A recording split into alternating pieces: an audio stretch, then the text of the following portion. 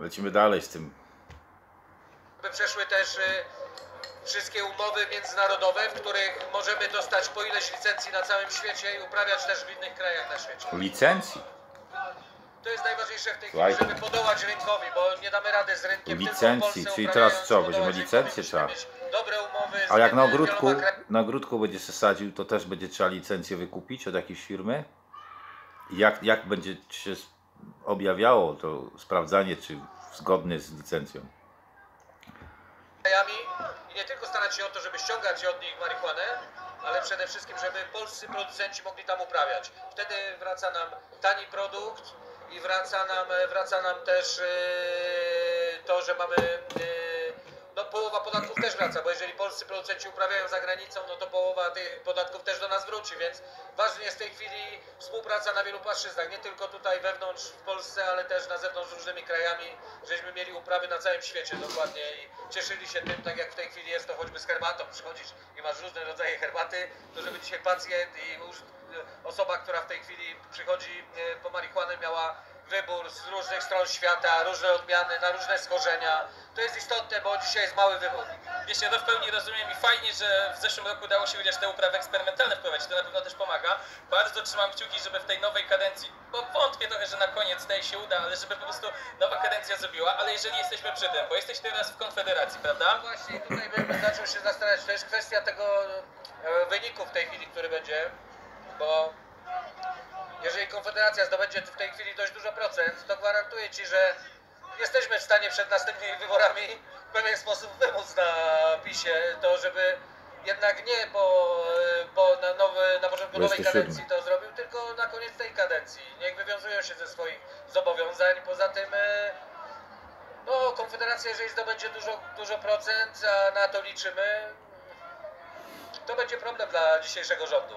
No i tutaj Nawet najprostszą formą licząc, załóżmy, robimy pełną legalizację w kraju i załóżmy, że jeszcze istnieje system podatkowy, złotówka od, każdej, od każdego grama podatku, niech będzie utrzymana cena 20 zł za gram, to taka, co ludzie się przyzwyczaili, to jest za dużo, tak czy siak. Każdy, kto będzie palił więcej, tak będzie sobie sadził, ale niektórzy po prostu i tak palą rekreacyjnie i palą od czasu do czasu, będą kupować w sklepie i nadal będzie schodziło kilka ton, kurde, pewnie dziennie. No to powiedzmy, że mamy milion podatków z tego dziennie. 365 dni w roku, no to mamy 360 w weekendy trochę więcej. No i już mamy 365 milionów, a resztę niech mają ci, co tam robią przy tym. Czyli już jest miejsce pracy dla rolników, dla wszystkich tych pośredników i handlarzy. Muszą się podzielić tą sumą na tyle, żeby, żeby, żeby faktycznie to ten, no i zobaczcie to, pyk, pyk, pyk i jest, i przy okazji jakość, to jest proste, takie, takie zabiegi nawet w tym systemie to są proste, a tu trzeba walczyć latami, żeby można było, kurde, używać roślin, które rosną normalnie na tym, a tutaj jakby ktoś chciał faktycznie na tym zysk mieć dla państwa, nie poza na tym tym, to teoretycznie no, udostępnia pełną możliwość i robisz, kurde, ile tam jest, z 20 zł, złotówka, to masz, kurde, ten, 5%, no i starczy, kurwa, po co więcej? Bo i tak musi się kręcić, jeżeli oni tutaj bazują tylko na tym, że mówią, tej, ty możesz to i musisz tak zrobić, żeby zarobić dla mnie, bo oni tak robią, nie? E, Ty możesz robić to i to, ale pamiętaj, że musisz płacić tu, nie? Więc taka, taka forma wygląda polityki tutaj. No to, to i tak jest dobry, dobry ten, bo to jest 365 baniek w roku, ale to tak na szybko licząc tak naprawdę będzie więcej, bo tych gramów schodzi więcej, załóżmy.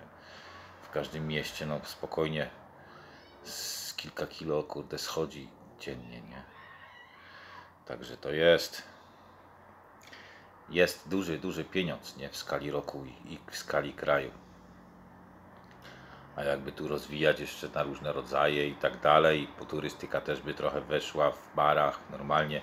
Alkohol trochę spadnie, nie? Czyli znowuż producenci alkoholu będą trochę kurwa zawiedzeni, bo większość ludzi jak zapali najpierw jointa, to potem wypije jedno, dwa piwka na mieście. To jest maks.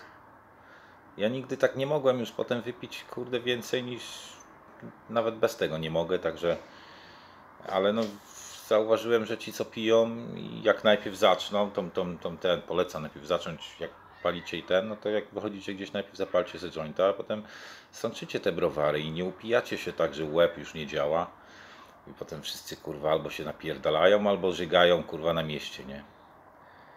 Eee, może i producenci alkoholu się zasmucą trochę. No i konflikt się pojawia cały czas interesów, a wszystko jest teoretycznie do użytku ogólnego i nawet jak tutaj jeden produkuje teraz alkohol, to inne następne życia będzie kurde sobie żył w następnym tym i będzie sobie używał tych swoich produktów. Także polecam produkować dobre. Chociaż wiem, że tak się nie robi, nie? Się nie opłaca. Poglądy właśnie innych członków. Dajmy na to Najchętniej to by ścieki sprzedawali. Zbiór różnych poglądów. Sprzedają, w tej chwili w ale dobra. Konfederacji, nie ukrywam, że trochę moja zasługa w tym. W Konfederacji nie mamy, już nawet rozmawiałem dość dużo z e, posłem Bosakiem, który jeszcze parę lat temu mówił, że, e, że nie, w ogóle to było śmieszne, bo wielu ludzi z jego środowiska do niego się patrzyło. co on mówi. Ale w tej chwili rozmawia, rozmawiamy na ten temat. E, Cała Konfederacja chyba dość zdrowo podchodzi. No trudno wolnościowców podejrzewać o to, że nie są za legalizacją. Ale dzisiaj dość dużo się rozmawia też w kręgach narodowych. Jest zupełnie inny temat. Dzisiaj nie ma jakiegoś oporu dużego, bo ludzie zrozumieli, czym to jest do końca, że to nie jest ten demon, który gdzieś tam był wszędzie przedstawiany z różnych stron, w różnych środowiskach. To się zmienia. W Konfederacji raczej, Konfederacja mogę powiedzieć ciemno, raczej będzie, będzie za wszystkimi regulacjami, przed, za depenalizacją w tej chwili. Walczymy, to jest najważniejszy element w tej chwili, podczas tej kadencji dla mnie. Ta depenalizacja, te 10 gram, za które się nie karze. I tutaj mogę powiedzieć w 100% Konfederacja jak najbardziej jest za depenalizacją, więc chyba to chcieliście usłyszeć. Ja, ja najbardziej chciałem zapytać, czy jest właśnie szansa, że będzie wspólne stanowisko całej Konfederacji, a propos chociażby dekryminalizacji, czy na... Tak, tak, tak, tak. Ja mogę tutaj oficjalnie powiedzieć jako jeden, co prawda nie, nie ma nas tu wszystkich, bo to nie ma tak. Często właśnie jest tak, że ludzie dojrzewają nas najbardziej za e, Korwina Mikke i mówią, że on coś tam mówi. Ale Korwin Mikke to jest e, jedno z ugrupowań w, ko, w Konfederacji. Nas jest tam trochę więcej, więc też będę mówił tutaj jako ja, ale mówię też, y, bo wiem co mówię. No, Konfederacja na pewno jest za dekryminalizacją w tej chwili używek, za tym, żeby była depenalizacja jak najszybciej, bo No. to, to, to w tej chwili co się dzieje, to jest patologia. To tylko ktoś, kto jest niespełna rozumu, może dalej być za tą patologią, więc y, tu w Konfederacji myślę, że jest jedno stanowisko. Tu nie wąt- wątpię, żeby ktokolwiek tutaj oponował za dekryminalizacją. Super, to ja bardzo się z tego powodu cieszę. Znaczy, tak, przeciwko dekryminalizacji. Oczywiście każdy wie, co mamy na myśli, tak naprawdę proste przejęzyczenia nie znaczą o niczym, ale jeszcze jedno pytanie, bo na przykład gdybyśmy wprowadzali ten mandat, e, w jakiej wysokości byłby taki mandat? To jest, y, wy- to jest bardzo niski, to jest najniższy mandat, bo to jest wtedy za wykroczenie. No tak samo jak dzisiaj jest za wiele różnych rzeczy. I to jest tylko prawnie umocowane. Zresztą tak samo jak w Czechach i w innych krajach, Niemcy też to mają.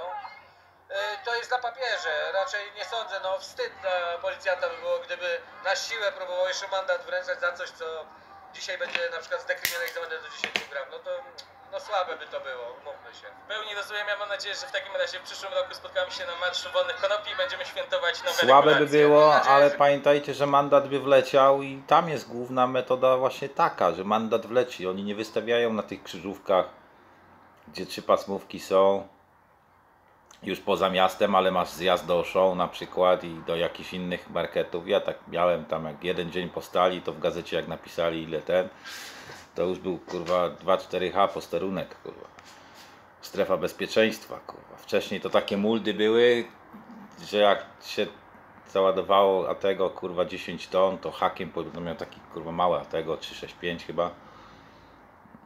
Nie pamiętam jakiś tam numer, kurde, i tam jak się przeładowało trochę, to kurwa hakiem po ziemi tar. A potem jak wygładzili, to można było już jechać, nie? Już były trzy pasy i poza miastem, wylotówka z ten i nadal kurwa 50 tam było, chyba czy 40, nie pamiętam. 40 chyba, kurwa.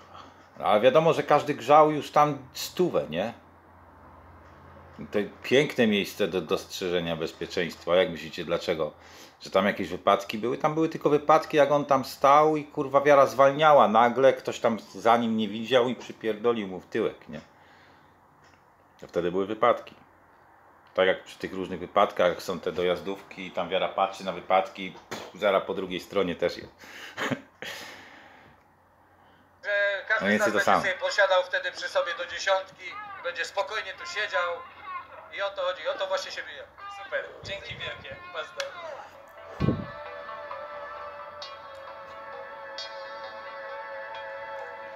Czyli żeby przenieść z miejsca na miejsce 100 gram legalnie, musisz znaleźć 10 kolegów wtedy. Każdy weźmie po dyszce. I możecie chodzić. Nie, no to wszystko śmieszne jest. To jest kurwa, to jest tak, tak śmiesznie, tragicznie śmieszne. Zobaczymy może co tutaj się dzieje na tym. Co się dzieje z naszą planetą? Dziwne zdarzenia mają miejsce, niesamowite fakty. Włączymy sobie coś bardziej niesamowitego na końcówkę już. Końcówka. Zaraz kończymy te. Cały ten. Witajcie. Od czasów starożytnych po dzień dzisiejszy nauka jest głównym narzędziem człowieka, dzięki któremu Tak? próbuje on zrozumieć, jak funkcjonuje świat. Próbuję. Mimo to nauka nie jest w stanie wyjaśnić wszystkich zjawisk, które zachodzą obecnie na naszej planecie.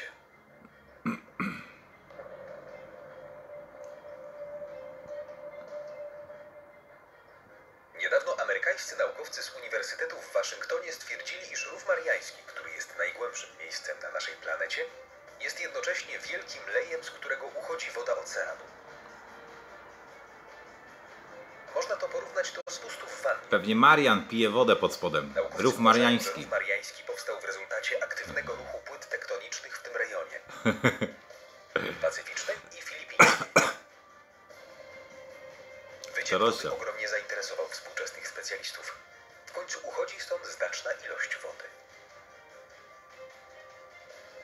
pomocą specjalistycznej aparatury naukowcy przeprowadzili badania w tym obszarze. Wyniki były zaskakujące. Okazało się, że w tym miejscu do tej pory znajdują się obszary aktywne sejsmicznie, przy czym na bardzo dużej głębokości. Dlatego szacuje się, że w podziemnym leju może znikać o wiele więcej wody niż początkowo zakładano. Nasuwają się więc pytania. Gdzie znika ta cała woda? Czy trafia ona do jakichś podziemnych zbiorników? Póki co nikt nie potrafi na nie odpowiedzieć.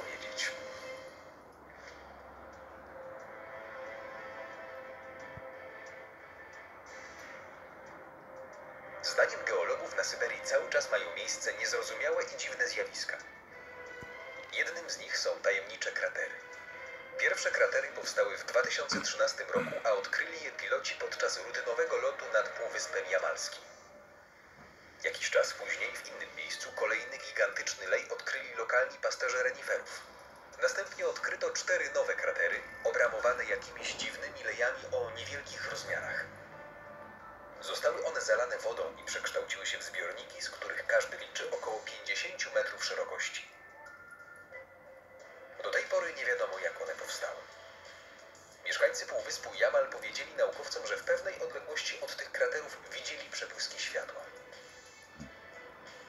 Większość badaczy uważa, że opisane przez mieszkańców przebłyski powstały w wyniku wybuchu podziemnego gazu i dlatego właśnie utworzyły Tak. się tajemnicze dziury w ziemi. I tak opowiadają ludziom pierdoły. Zgadza się też znany archeolog Andrzej Plichanow, No. zajmujący się badaniem Arktyki i Syberii. Ponadto ostrzegł on, że takie dziury mogą się pojawić w każdym miejscu na Syberii i mogą być o wiele większe. Jednakże jego amerykańscy koledzy po fachu mają całkowicie odmienne zdanie na ten temat. Uważają, że niestabilny metan, który może eksplodować od czasu do czasu, znajduje się w głębi Ziemi na głębokości ponad 200 metrów, a dziury, które powstały na Półwyspie Jamalskim, nie są aż tak głębokie.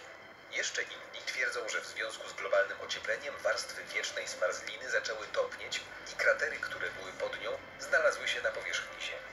Zdania naukowców są więc bardzo rozbieżne.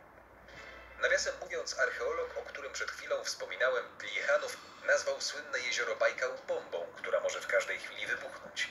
Jego opinia wynikała z tego, że podczas badań dna Bajkału wykryto pęknięcia w skorupie ziemskiej i istnieje prawdopodobieństwo, że w tych pęknięciach także znajduje się niestabilny metan, który doprowadził do powstania kraterów. Warto sobie uświadomić, że jeśli doszłoby do jego wybuchu, czekałaby nas ogromna katastrofa ekologiczna.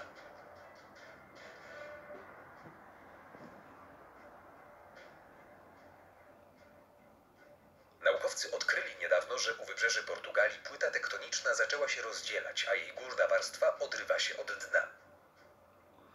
No, no to dobrze, kurwa. A tak naprawdę niedobrze, nie? Dobra, nie chcę się trzymać tego telefonu. Posłuchamy sobie. Ja sobie posłucham?